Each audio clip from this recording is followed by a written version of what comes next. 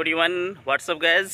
This is Ranjan Ramesh and welcome to my another videos friends कैसे हैं आप सब? आज हम आए हैं नेपाल घूमने के लिए। नेपाल में सुनसरी ज़िला घूमने आए हैं। गर्मी का मौसम है तो रिसोर्ट में घूमना बनता है तो आज मैं आया हूँ सुनसरी ज़िला में एक बेहतरीन रिसोर्ट है यहाँ पर गोकर्ण रिसोर्ट और आप लोगों को बे, बेसिक लोकेशन भी यहाँ का बताएँगे कहाँ पर ये है और क्या क्या है यहाँ पर फैसिलिटीज़ है। तो बहुत अच्छा है, क्योंकि एक सुनसरी ज़िला में मैं पिछले साल आया था तो वहाँ पर इपी लैंड में भी मैं गया था तो वहाँ पे भी मैं घूमा हूँ, वहाँ पे भी मैं स्विमिंग किया था, बहुत अच्छा लगा था। सुनसरी ज़िला का औसम रिसोर्ट है, और गोकर्ण रिसोर्ट तो चलते हैं, उसको एक्सप्लोर करते हैं और इन्जॉय भी करते हैं। आप लोग भी मेरे साथ वीडियो में बने रहिए, और मेरे चैनल पर अगर आप लोग नए हैं तो मेरे चैनल को ज़रूर सब्सक्राइब कर लीजिएगा। लेट्स गाइज़ देख सकते हैं फाइनली अभी मैं पहुँच गया हूँ। गोकर्ण रिसोर्ट में। और अभी हम अंदर चलते हैं और आपको दिखाते हैं कितना बेहतरीन सामने अच्छा लोकेशन है। तो अभी अंदर चलते और दिखाते इस साइड आप यहाँ पर पार्किंग वर्किंग कर कर सकते हैं। मैं भी अपना बाइक आगे लगा दिया हूँ वहाँ पर। यहाँ देख सकते हैं, मेरा बाइक लगा हुआ है। काफ़ी अच्छा साफ़ सफ़ाई बहुत बढ़िया। है नेपाल में तो साफ़ सफ़ाई बहुत ज़्यादा अच्छा से रहता है। यहाँ सामने देख सकते हैं, टिकट काउंटर है। वीडियो क्या पढ़ सकते हैं, टिकट का चार्ज यहाँ सौ है। तो नेपाली सौ रुपया लगता है। अभी भी देख सकते हैं सौ दी नेपाली। कितने बजे तक है कितने बजे तक है? कितना बजे तक है अंदर में रहने का कितने बजे वापस आउँछ पाँच बजे तक माँ? तो फाइनली मैं अंदर प्रवेश कर चुका हूँ और देख सकते हैं आप लोकेशन भी गजब है। वाह क्या बात है। आर्टिफिशियल डायनासोर बना दिया गया इधर। गजब बनाया है, लेकिन जो भी बनाया आर्टिफिशियल। हेलो बॉयज़ एवरीथिंग आप लोग वॉच करते चलिए, ताकि आप लोगों को भी अच्छा लगे। मतलब दृश्य सभी गजब गए। देखिए कितना अच्छा से इसको मतलब प्लांटेशन किया है, उसको कटिंग कर करके। यहाँ पर जो पार्किंग है, गजब का है। यहाँ देख सकते हैं परी तो बढ़िया है। अबे भाई, गोली मत चलाओ। अभी जा ही रहा हूँ। अरे फौजी साहब, जय हिंद।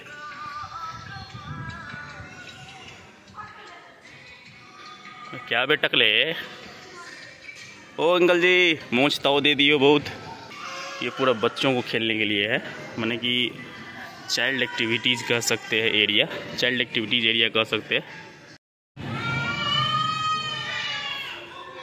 मेरे हाथों में टिकट है, यानी कि वहाँ जो टिकट कटा है, वो एंट्री फ़ी था, सौ रुपये नेपाली।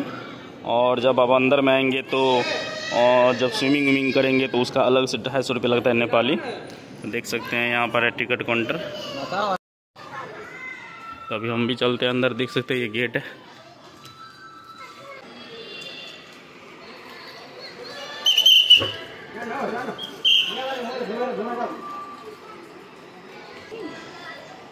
यही पहनना पड़ेगा। यही पहनना पड़ेगा मैं लाया हूँ घर से मतलब पहनने के लिए हाफ़ पैंट देखा देख दिखा सकता हूँ? चलिए ठीक है। मैं अभी ये टी शर्ट नया टी शर्ट पहन के आया था कि मैंने इसे स्विमिंग करूँगा। तो यहाँ पर वो सब नहीं है। आप कुछ भी कितना भी एक्सपेंसिव कपड़ा ले आइएगा वो सब यहाँ पर नहीं चलेगा। वहाँ पे रखा रहता है आपको देंगे। वही पहन के आपको स्विमिंग करनी है और उसके बाद विदाउट पेंट के अलावा और कुछ भी नहीं ओपन मतलब पूरा, गंजी भी ऊपर में नहीं डाल सकते हैं और तब आप स्विमिंग कर सकते हैं। तो यहाँ का रूल जो है है, वो करना पड़ेगा, तब मुझे पूरा एकदम ओपन होना होगा। चलिए सीधा मिलते हैं स्विमिंग पूल में विदाउट कपड़े।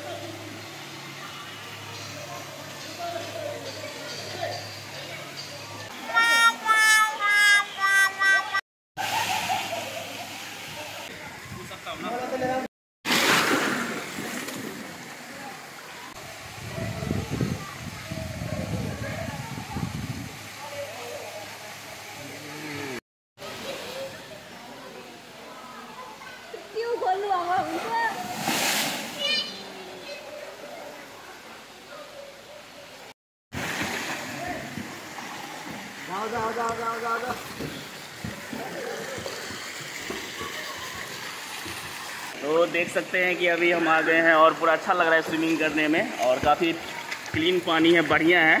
एपीलैंड से थोड़ा सा छोटा है, लेकिन बढ़िया है, बहुत अच्छा लगा।